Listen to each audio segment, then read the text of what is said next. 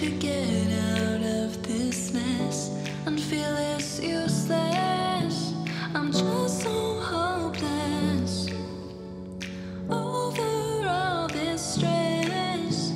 I don't wanna feel. Is there some way real to?